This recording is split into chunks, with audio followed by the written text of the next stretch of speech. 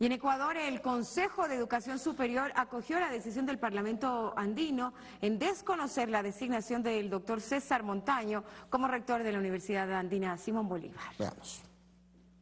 El título de doctor que se necesita para ejercer el rectorado en una universidad a partir del 12 de octubre de este año que ya pasó, tiene que ser en una universidad distinta de la universidad en la cual eh, voy a ser eh, rector. Quiero también aclarar eso.